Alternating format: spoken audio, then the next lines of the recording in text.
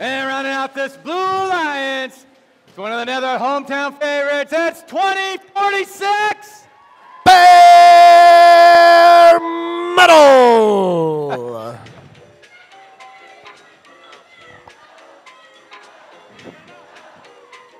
All right. We got full green lights. Clear the field of human debris. We'll kick off this next flight.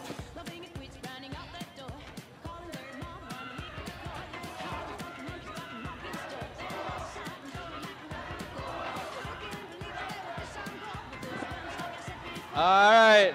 We got the thumbs up from our head wrap. The thumbs are up. All right, pilots, check your toes behind this white line. We're going to kick off this flight in three, two, one. Launch.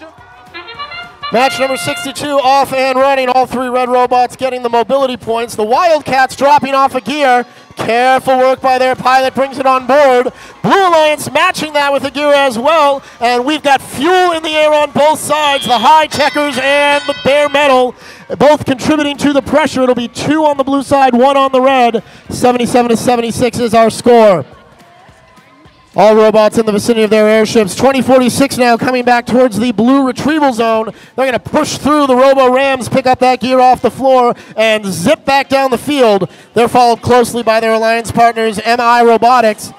MI going to align at the feeder station and see what they can take home. Meanwhile, at the base of the red airship, two red robots dropping off gears. The Robo Rams there first on the center peg. That gets pulled in by the pilot. 2980, the Whidbey Island Wildcats having a little more difficulty lining up. They've got fuel in the way. They're going to move around and try again on the center peg.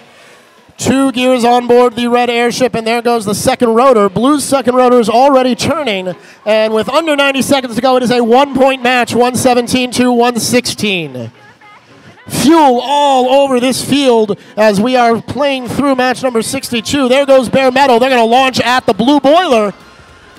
An absolute maelstrom of fuel going up on that blue high boiler, and Bear Metal able to get that pressure up to 11, now 12 kilopascals with 60 seconds to go in this match.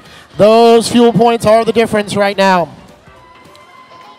Iron Patriots currently our number nine seed, 41-31. Looks like they're having some driver problems, getting stuck in the center of the field. Maybe a wheel, maybe a motor broken. They'll try to sort that out, but their alliance partner is not going to be hung up. MI Robotics drops off another gear for blue, and that will complete the third blue rotor. Careful for the pilot there, and he gives it one, two, three cranks, and three blue rotors now churning. 40 more points on the board, and the Blue Alliance extends their lead. Everybody coming home to climb Whidbey Island Wildcats 2980, putting one more gear on the red airship as the pilot very impressively holds on to that lift while dropping the ropes. Red not going to have enough to get that third rotor turning, but we've got all three blue robots ready for flight. Robo Rams, the only one up for red. Five seconds now. Four, three, two, one. And with three blue robots in the air and only one for red, looks like that's going to be the difference. We'll get our final scores right now. Head referee Mike York signaling everything is good to go. And as we watch the airships lift off from the field, fly through the